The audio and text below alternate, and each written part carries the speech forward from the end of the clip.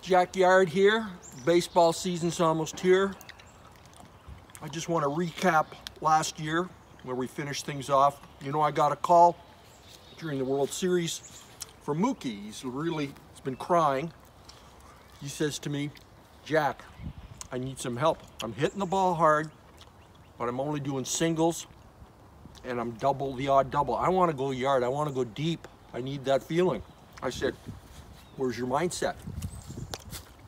He says, well, I'm swinging hard for the fences. I said, well, there's your problem right there.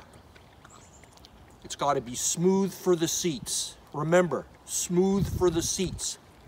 And I want you to think about leaving your feet. You've got to leave your feet. Start low and leave the feet. You've got to finish your swing on the balls of your feet. So what does he do? He goes out, home run, wins the game, game six, said and done, series is over. He calls me up the next day, says, Jack, thank you. You did it again.